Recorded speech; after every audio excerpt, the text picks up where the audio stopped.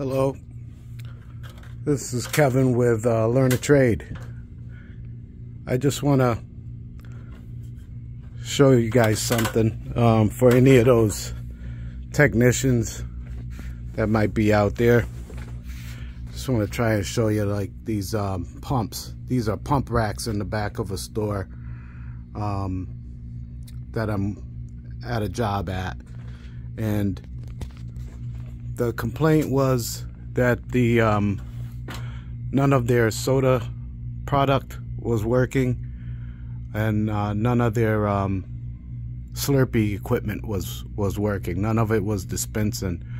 But for um, for any of you that might be a technician or something that works on these systems, um, I just want to show you something. Uh, this is the reason why you see all of these all of these uh, pumps all of these are bib pumps. They pump the uh, syrup from these boxes of, of uh, product and they pump it out, out to the uh, to the machines in the front area of the store. Um, but what I want to show you is the reason why none of these are working is uh, do you see these this valve right here with the yellow tag on it that's a um, auto shut off.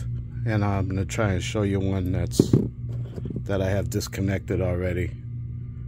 This one right here I don't know if you can see it but it says high altitude on it. So these these auto shutoffs can only be used in high altitude areas of the country.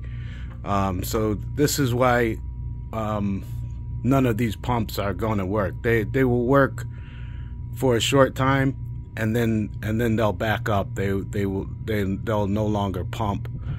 So I got to change all of those high altitude valves auto shut off valves to these which are the the original ones the the ones that go with these pumps. So just a reminder to all you techs out there if you uh, are on my channel I hope you see this, that you cannot use the high altitude auto shutoffs uh, anywhere. They can only be used in high altitude areas of the country.